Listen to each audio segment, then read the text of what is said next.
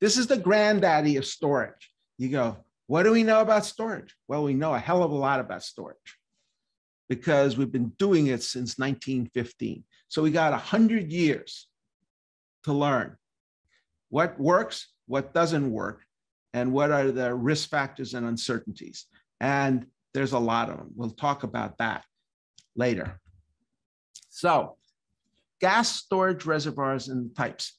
We have depleted oil fields, simple oil and gas fields. Every one of you is familiar with that. Salt formations, easy, and depleted aquifers.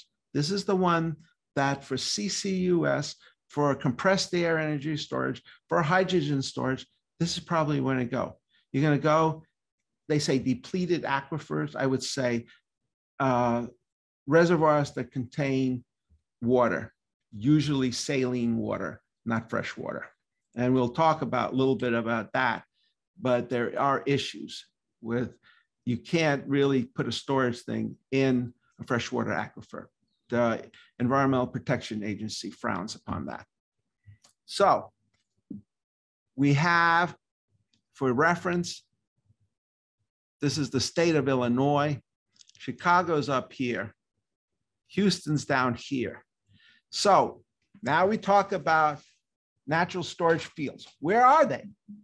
Well, they're surrounding the state. And we have different types. We have depleted oil fields, which is the majority, salt formations, which only really occur in a few spots.